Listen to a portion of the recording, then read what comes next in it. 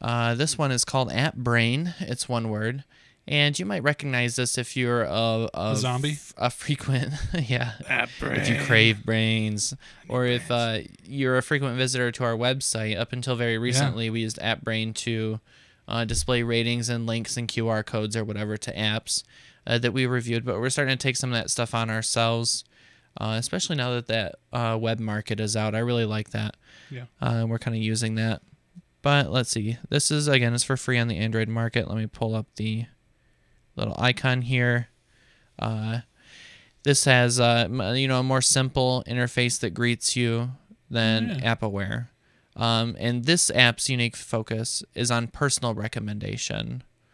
So it's kind of uh, let, I'll pull up here uh, recommended apps. So it builds a list of apps that you have. They have just some sort of magical algorithms that say, "Hey, we noticed you have such and such installed." Like it knows I have Astro, so it's suggesting to me to install the uh, SMB module, which would let it work with uh, Windows networking partitions, so I can access uh, my network shares or whatever uh, on my desktop using my Android phone. Uh, Fruit Ninja, it's recognizing to me. Uh, yeah, rec- recommending. How many times did I say recognize instead of recommend? Uh, let's see. XDA developers, which is like a, a chat app. Now, does it tell you why it's For the recommending these to you? Like, Uh, no, it- I don't think it, it doesn't say like you did because blah blah blah. Yeah, it just That's one thing that's kind of interesting about the iOS Genius recommendations. So Yeah. Says, you bought this, so you might like this. So I'll hit right there. It's one of these, I think. Maybe I'll just if I just go back. All right. Now, one of the other things too, uh, the interface for uh, for what I'm about to show you is a little bit clunky. They have this list button up here, and you're an iPad user, Dave, so you might be more used Pop to that. over. Um, but this has hot apps today, hot apps this week, Mm-hmm. and popular apps in the United States because it knows that's where I am. So like you can hit hot apps today, and it will show you not just the most installed, but the fastest rising installed Oh, that's cool. uh, apps like this NVIDIA Tegra Zone. That's shows- new. Now it says less than 50 downloads, but it's less than 50 downloads for people that have uh, AppBrain installed on their phone I see. when they installed it, because that's all they track. They don't do. Yeah. Uh, I think on here, I don't know. Maybe they do scrape that from the market too. Uh, but this is a the whole point of again reviewing these apps is so that you can find apps yourself. Mhm. Uh, so you'll see a lot of junk in here, um, but it'll help you Mhm.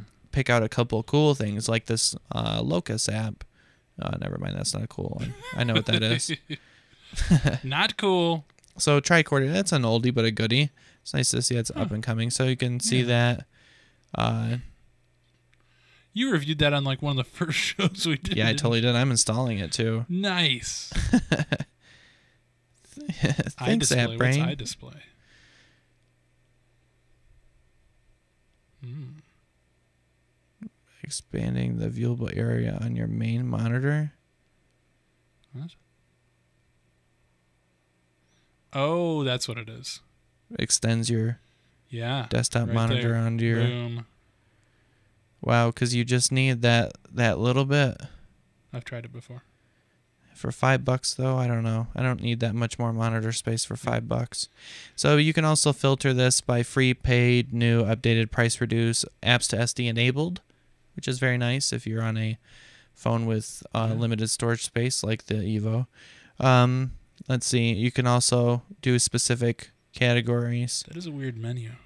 And yeah, no, it's all it's all pop up from up here. I don't like it. It's not very it's not very user friendly. It's not very Don't get me wrong. There's there's tons and tons of features on here, uh, which is really great.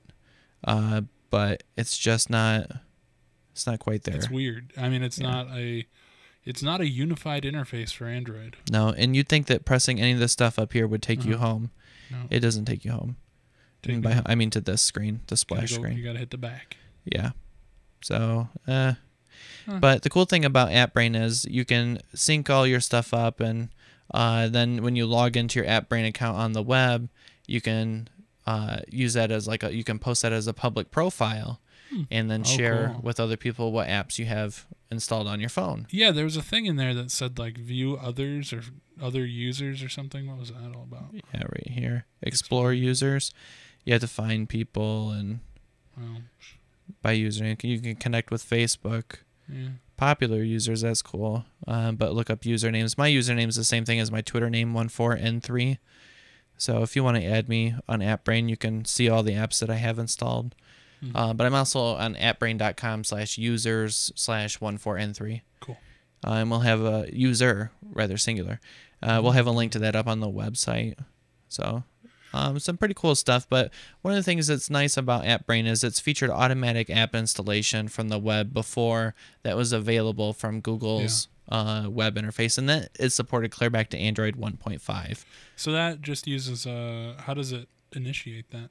It's uh, you install this other app called Fast Web Installer, Okay. and that pulls that checks their server every now and then, and then whenever you've you've told you've gone onto their website and say install this app or whatever, then uh, that will uh, pull it up on the market, Hmm. and then you just hit install. So it is a little bit different. It doesn't install it automatically like Google does Right. on their thing, but it notifies you that you can install it right away. yeah, and it was around before Google had their website. So Oh, for yeah. being a third-party service, I'd say that's uh, that's pretty good, really. So uh, Ahead of the curve. Yeah, for sure. So check it out. It's AppBrain. Uh, I really love it. This is really a power user app. Uh, not so much for the uh, the beginner, but a lot of features. So and it's free.